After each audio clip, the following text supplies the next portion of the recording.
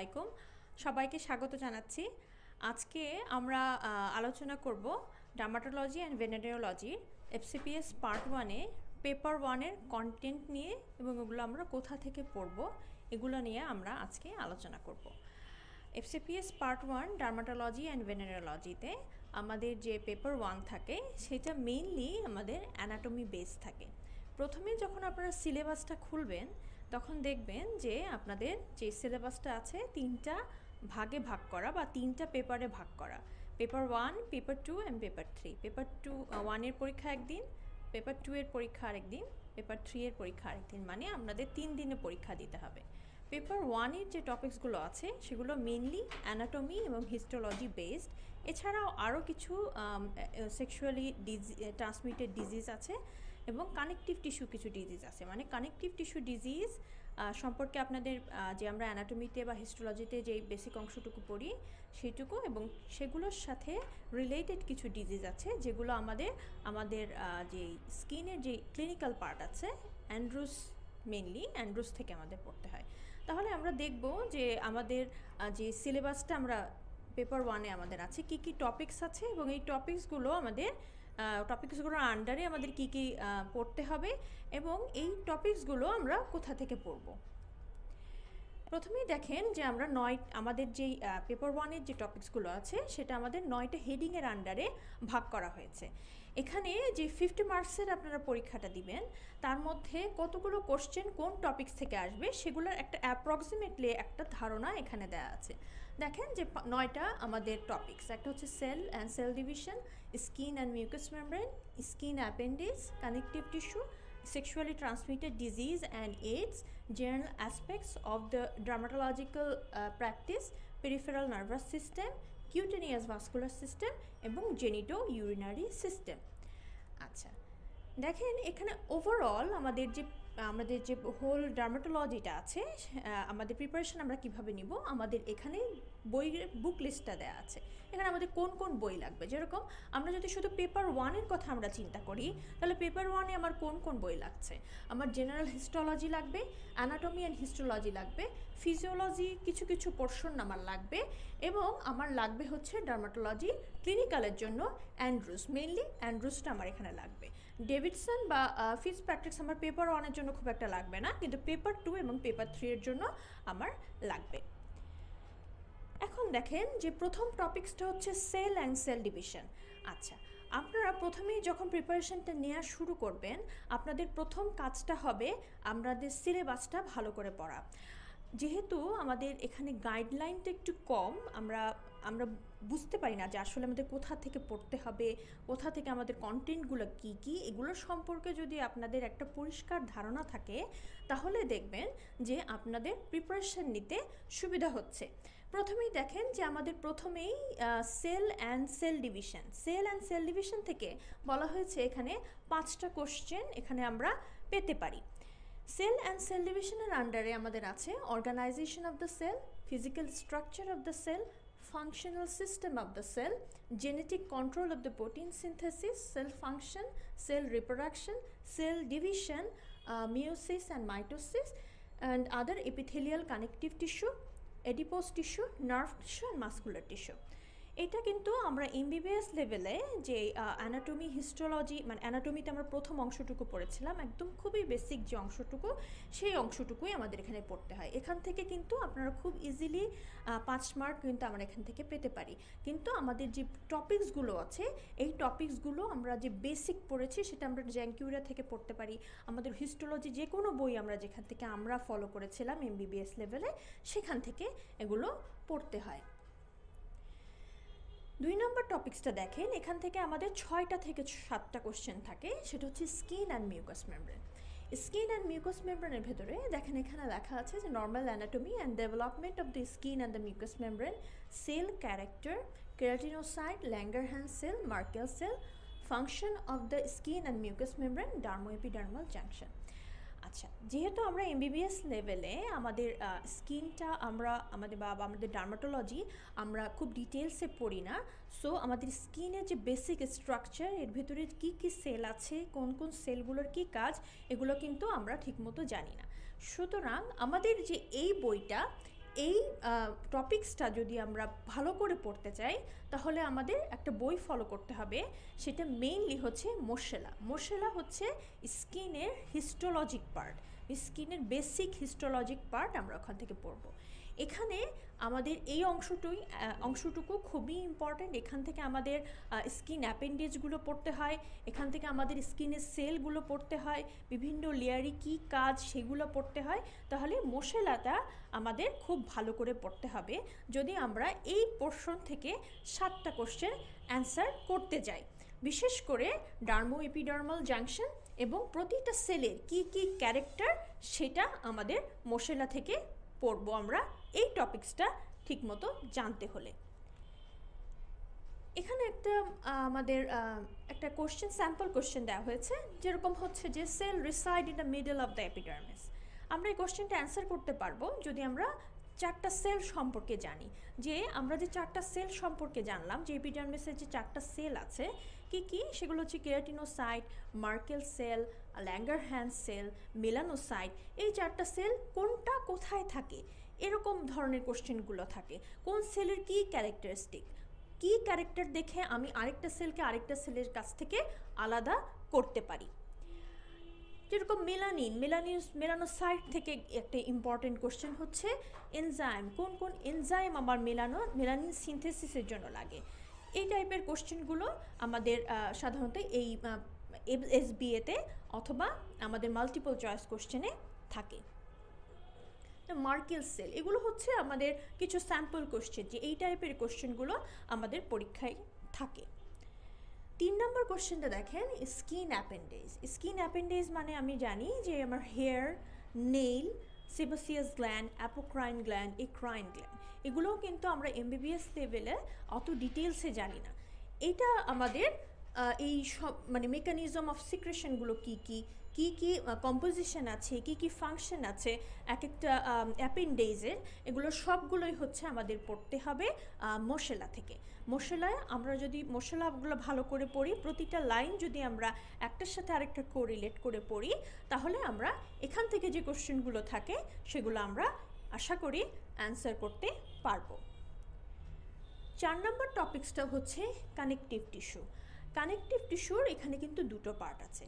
এখানে কি দুটো পার্ট দুটো পার্ট হচ্ছে এখানে আমার অ্যানাটমিও পড়তে হয়, এখানে আমার কিছু ডিজিজ অংশটুকুও পড়তে হয় মানে প্যাথোলজিক্যাল পার্ট বা ক্লিনিক্যাল পার্টটুকু এখানে পড়তে হয়।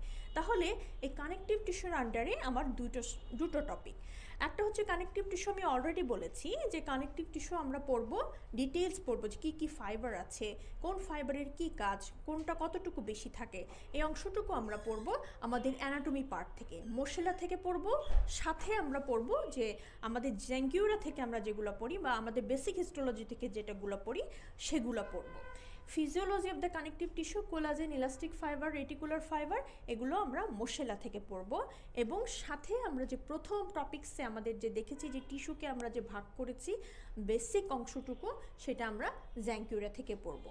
তাহলে আমরা এই কানেকটিভ টিস্যু পার্টটা আপনাদের জন্য খুবই ইম্পর্টেন্ট এখান থেকে কিন্তু ছয়টা থেকে সাতটা কোশ্চেন আপনারা এখান থেকে পেতে পারেন। তাহলে আমাদের অ্যানাটমি পার্ট এখান থেকে পড়তে হয় এবং ক্লিনিক্যাল পার্টও পড়তে হয়। অ্যানাটমির মধ্যে আমরা যে বেসিক অংশটুকু ওখান থেকে পড়ব সাথে পড়ব হচ্ছে মশলা এবং দেখেন এটার সাথে কিছু ডিজিজ রিলেট করা আছে, যেগুলো আমাদের systemic lupus erythematosus discoid lupus erythematosus scleroderma dermatomyositis এবং রিমোটয়েড আর্থ্রাইটিস এই পাঁচটা টপিকস পড়তে হয় হচ্ছে আমাদের অ্যান্ড্রুজ থেকে। Andrews disease of skin thirteen edition এখন চলছে। এখন ওখান থেকে আপনাদের চ্যাপ্টার এইট থেকে এটা আপনাদের পড়তে হয়। কোশ্চেন এখান থেকে অনেক ফ্রিকুয়েন্টলি এখান থেকেই আপনাদের কোশ্চেনগুলো থাকে। ইমাটয়েড আর্থ্রাইটিসের কিছু অংশ আমাদের ডেভিডসন থেকে পড়লে আপনাদের কনসেপশনটা ক্লিয়ার হবে। এবার আসেন যে এসটিডি এবং এইডস এটা হচ্ছে আরেকটা টপিক সেই টপিকসগুলোর আন্ডারে আমাদের কিছু ডিজিজ দেয়া আছে। এই ডিজিজগুলো মেইনলি আমাদের পড়তে হয় অ্যান্ড্রুস থেকে। অ্যান্ড্রুসের এগুলো হচ্ছে কিছু কিছু আছে, আমাদের সিফিলিস তো আছে চ্যাপ্টার এইটিনে গনোরিয়া লিম্ফোগ্যানোয়া ভেনোরাম শ্যাঙ্ক্রয়েড গ্র্যানোনোমা ইঙ্গুইনালি এটা আছে আমাদের চ্যাপ্টার ফোরটিনে এবং হার্পিস প্রোজেনিটালিস এবং এইডস আছে হচ্ছে আমাদের ভাইরাল ডিজিজ চ্যাপ্টারে তাহলে ডিজিজের আন্ডারে আমাদের ডিজিজের ক্লিনিক্যাল ফিচারগুলো কি কি? ক্লিনিক্যাল ফিচার দিয়ে কিন্তু আমাদের অনেক কোশ্চেন থাকে। যেরকম কোনটাই হচ্ছে আমাদের পেইনলেস আলসার হয়, কোনটায় আমাদের পেইনফুল আলসার হয়, কোনটাতে লিম্ফ নোটগুলো পেইনফুল হয় পেইনলেস হয়, এবং কোন কোন কোনটার ইনকিউবেশন পিরিয়ড কি কীভাবে কোনটাতে আমি ডায়াগনোসিস করব কোনটা ডেফিনেটিভ ডায়াগনস্টিক টেস্ট কোনগুলো, এগুলো আপনাদের পরীক্ষার জন্য খুবই ইম্পর্ট্যান্ট বিশেষ করে সিফিলিসের আমরা জানি treponemal test non treponemal test কোনটা রিয়াক্টিভ হলে আমরা কোন কোন ধরনের সিফিলিস বলব, এই কিছু কিছু অংশ আমাদের জন্য ইম্পর্ট্যান্ট কোনটা সবচেয়ে বেশি আর্লি আমাদের পজিটিভ হয়, এই ছোট ছোট ইনফরমেশনগুলো আপনাদের জন্য ইম্পর্ট্যান্ট আর হচ্ছে যে কোনো চ্যাপ্টারের যখন আপনার শুরু করবেন, বিশেষ করে সিফিলিসের, দেখবেন যে চ্যাপ্টার এইটিনের যে প্রথম অংশটুকু, সেই অংশটুকু আপনাদের জন্য ইম্পর্ট্যান্ট আমরা যখন পড়ব আরও ডিটেলসে তখন আমরা বুঝতে পারব যে আমাদের আরও কী কী পড়তে হবে। তাহলে আমাদের এই অংশটুকু আমাদের পড়তে হবে মেনলি অ্যান্ড্রুস থেকে। মানে এটা হচ্ছে আমাদের ক্লিনিক্যাল পার্ট যেরকম এখানে আমি একটা উদাহরণ দিয়েছি যে what is the definitive diagnosis for the chancroid এরকম পাঁচটা আপনাদের স্টেম দেওয়া থাকবে। যদি সিঙ্গেল বেস্টের জন্য বলি, তাহলে এক্ষেত্রে আমাদের একটাই অ্যান্সার হয়, আমরা জানি। এখানে আমাদের, এখন আমরা জানি ফিফটি পার্সেন্ট আমাদের সিঙ্গেল বেস্ট অ্যান্সার এবং ফিফটি পার্সেন্ট হচ্ছে আমাদের এমসিকিউ তাহলে সেক্ষেত্রে হচ্ছে যে যদি আমাদের এখান থেকে কোনো এসবিএ আসে, তাহলে এই ধরনের আমাদের এসবিএ আসতে পারে। আবার বলেছি যে এখানে ক্লিনিক্যাল ফিচারটা খুব ইম্পর্ট্যান্ট এখানে ক্লিনিক্যাল ফিচারে যেরকম বলেছে যে forty year old male came with complain of penile ulcer which is painless beefy red in appearance what may be the positive organism তাহলে এভাবে আপনাদের ক্লিনিক্যাল ফিচার থেকে আপনাদের অনেকগুলো কোশ্চেন অনেকভাবে কোশ্চেন থাকতে পারে। যেরকম, এরকম ক্লিনিক্যাল ফিচার দিয়ে আপনাদের জানতে পারে যে, আমি এখানে কি ইনভেস্টিগেশন করব। ক্লিনিক্যাল ফিচার দিয়ে বলতে পারে যে, এইটা কোন ডিজিজ সাসপেক্ট করছি। কোন অর্গানিজম এখানে হতে পারে, এই ধরনের কোশ্চেনগুলো থাকতে পারে।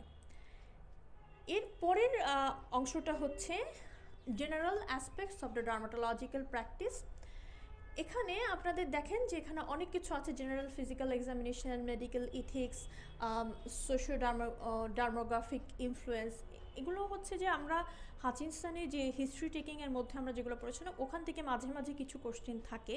তবে এখানকার মধ্যে সবচেয়ে ইম্পর্টেন্ট হচ্ছে দুইটা টপিক্স একটা হচ্ছে primary and secondary skin lesion এবং আরেকটা হচ্ছে glossary of the skin lesion এখন primary and secondary skin lesion basic অংশটুকু এগুলো মেনলি আপনারা আমাদের ফিটসের প্রথমে কিছু প্রথমের যে চ্যাপ্টারগুলো আছে, ওখানে বেসিক লেসন সম্পর্কে সুন্দর আইডিয়া দেওয়া আছে, সেখান থেকে পড়তে পারেন। ডেভিডসন থেকেও পড়তে পারেন। আরেকটা হচ্ছে আমাদের যে অ্যান্ড্রুস আছে, সেখান থেকে মানে ক্লিনিক্যাল বইয়ে যে প্রথম অংশটুকুতে আমাদের basic skin lesion primary and secondary skin lesion আছে, সেখান থেকে আপনারা পড়তে পারেন। এরপরে হচ্ছে আছে আমাদের glossary of the skin disease glossary of the skin disease আমরা ডিজিজের সাথে কোরিলেট করে করে এটা মেনলি হিস্টোলজিক্যাল কী কী চেঞ্জ হচ্ছে, কেন হচ্ছে স্কিনের প্যাথোলজিগুলো কী কী চেঞ্জ হচ্ছে সেগুলো মেনলি এগুলো আমরা ডিজিজ যখন পড়ব, তখনই আমরা এটা পড়ব। কিন্তু গ্লসারি বলে একটা পার্ট আছে, সেটা হচ্ছে আমাদের আছে, যেগুলো আমাদের সম্ভবত লিভারে লিভার হিস্টোপ্যাথোলজি পেছনের অংশটুকু গ্লসারির কয়েকটা পেজ আছে, ওখান থেকে পড়তে হয় টপিক্সগুলো এরপরে হচ্ছে laboratory medicine laboratory medicine skin incision and biopsy এগুলো হচ্ছে যখন আমরা পড়ব, আমাদের যখন পুরো সিলেবাসটা শেষ হয়ে যাবে, তখন আমরা ডিজিজের সাথে কোরিলেট করি এগুলো বলতে পারব যে কোন কোন ডিজিজে আমাদের স্কিন বায়োপসি করতে হয়, কোন ধরনের বায়োপসি করতে হয়, সেগুলো আমরা স্কিনের ডিজিজের সাথে করব। এগুলো আলাদা করে আপনাদের নতুন কোনো বই থেকে পড়তে হবে না। আচ্ছা যেরকম আমরা বলেছিলাম যে গ্লসারিতে গ্লসারির যে যেরকম সেকেন্ডারি অ্যাকান্থোলাইটিক ডিজিজ প্রথমেই যেরকম আছে যে হোয়াট ইজ অ্যাকান্থোলাইসিস অ্যাকান্থোলাইসিস কী? কত ধরনের অ্যাকান্থোলাইসিস আছে? কিছু কিছু হিস্টোলজিক্যাল টার্ম শুধুমাত্র স্কিনে আমরা ব্যবহার করে থাকি, সেগুলো হচ্ছে আমাদের গ্লসারিতে আছে। এগুলো আপনাদের কিছু কিছু টার্ম আপনাদের জন্য খুবই ইম্পর্টেন্ট এরপরে আসি সেভেন নাম্বার টপিকস যেটা হচ্ছে peripheral nervous system peripheral nervous সিস্টেমের মধ্যে দেখেন আপনাদের structure and function of the nerve nerve, fe- peripheral nerve, cutaneous innervation, autonomic nervous system, organization of the pathways of the um, spinal cord, uh, CSF composition and reflexes. তার মানে আমরা বুঝতে পারছি যদি আমি টপিকসগুলো সবগুলো পড়তে চাই তাহলে আমাদের আমরা যে এমবিবিএস সময় এমবিবিএস এর সময় যেই বেসিক নার্ভাস সিস্টেমের অ্যানাটমিটা পড়েছিলাম এবং ফিজিওলজি যে পড়েছিলাম, সেই দুইটা অংশ আমাদের এখান থেকে পড়তে হবে। তাহলে এখান থেকে কিন্তু আমরা ইজিলি মানে ভালো মার্কস পেতে পারি যদি আমাদের বেসিক অ্যানাটমি এবং ফিজিওলজির যে নার্ভাস সিস্টেমের পার্টটুকু ওটুকু আমাদের ভালো করে পড়া থাকে।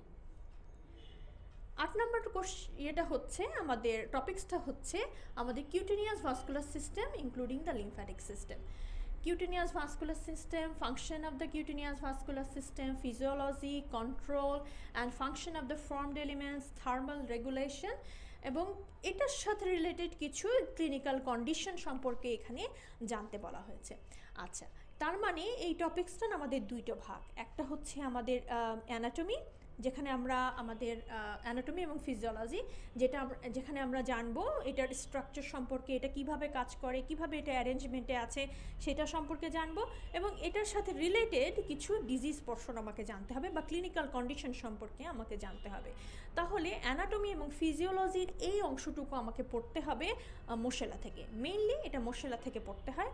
মোশেলা পড়ার পরে আপনারা যে কোনো একটা আমাদের যে ক্লিনিক্যাল পার্টের বই আছে সেই পোর্টের প্রথম অংশটুকু পড়লে আপনাদের কনসেপশনটা ক্লিয়ার হয়। কিন্তু মেনলি আপনাদের এটা পড়তে হবে মশলা থেকে cutaneous vascular system lymphatic system এবং ক্লিনিক্যাল কন্ডিশন যেগুলো আছে, দেখেন erythema telangiectasia varicosity Raynaud's phenomena Raynaud's disease and lymphoedema এই কয়টা টপিক্স আমাদের এটার যে কোশ্চেনগুলো থাকে সেগুলো সাধারণত অ্যান্ড্রুস থেকে থাকে। তবে খুবই ছোট ছোট ইনফরমেশনের আকারে এগুলো সম্পর্কে আমাদের জানতে হয়। খুব ডিটেলস এগুলো সম্পর্কে আমাদের জানতে হয় না। কিন্তু আপনাদের এই যেরকম এখান থেকে কিন্তু আমাদের ডেফিনেশনগুলো খুবই ইম্পর্টেন্ট এগুলো আমরা অ্যান্ড্রুস থেকেই পড়ব।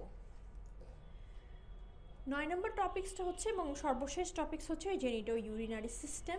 এখানে দেখেন genito urinary system test structure and function of the testis epididymis prostate urethra penis vagina আর হচ্ছে physiology of the coitus menstrual cycle ovulation spermatogenesis and fertilisation আচ্ছা তাহলে এই অংশটুকু আমাদের পড়তে হয়। আমরা যে অ্যানাটমি পড়েছিলাম অ্যানাটমি স্ট্রাকচার পড়েছিলাম এমবি বিবিএসের সময়, সেই অংশটুকু এখান থেকে পড়তে হয়। এখানে স্ট্রাকচার থেকে কিন্তু আপনাদের অনেক কোশ্চেন থাকে। এগুলো যদি আপনারা ভালো করে পড়েন, তাহলে আপনাদের কোশ্চেন করা ইজি হবে। অ্যান্সার করা ইজি হবে। তাহলে আমাদের এই স্ট্রাকচার আর এই অংশটুকু আমাদের পড়তে হবে বেসিক অ্যানাটমি থেকে। অ্যানাটমি থেকে আমরা যেগুলো পড়েছিলাম, আমাদের সেটা আমরা যে কোনো বেসিক অ্যানাটমি দত্ত থেকে আমরা পড়তে পারি বা আমাদের অন্য কোনো যদি নোট থাকে, ইয়েতে, সেখান থেকে আমরা পড়তে পারি। আচ্ছা আরেকটা হচ্ছে যে, এটা হচ্ছে mainly menstrual cycle ovulation spermatogenesis fertilisation এটা বুঝতেই পারছেন। এটা আমরা আমাদের বেসিক যে আমাদের ফিজিওলজি আছে ফিজিওলজি রিপ্রোডাক্টিভ সিস্টেমের যে ফিজিওলজি ওখান থেকে পড়তে হয়।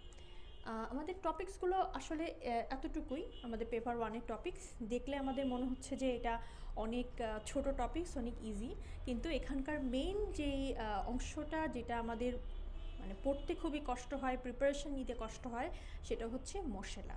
মশেলার বা স্কিনের যে অ্যানাটমি এবং ফিজিওলজির যে পার্টটুকু শুধুমাত্র ডার্মাটোলজির ওই অংশটুকু আমাদের জন্য ইম্পর্টেন্ট এবং ওই অংশ থেকে অনেক আপনাদের কোশ্চেন পাবেন এবং ওগুলো গুছাতেই বা ওগুলো পড়তে আমাদের একটু প্রথম দিকে একটু বেগ পেতে হয়।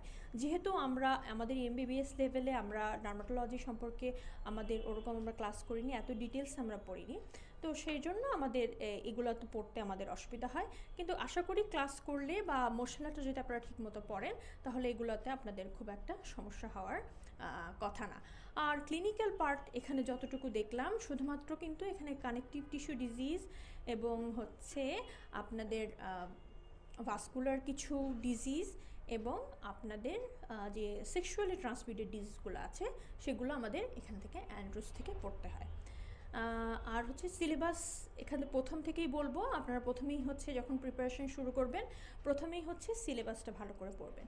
আপনি সিলেবাস যতটুকু কভার বেশি কভার করে যাবেন, আপনার তত বেশি আপনারা কোশ্চেন অ্যান্সার করতে পারবেন। যত বেশি অ্যান্সার করতে পারবেন, আপনারা ততই আপনাদের পাশের সম্ভাবনা আপনাদের বাড়বে। তাহলে আজকে পেপার ওয়ানের প্রিপারেশন সম্পর্কে যে ক্লাস সেটার আজকে এ পর্যন্তই। সবাইকে ধন্যবাদ।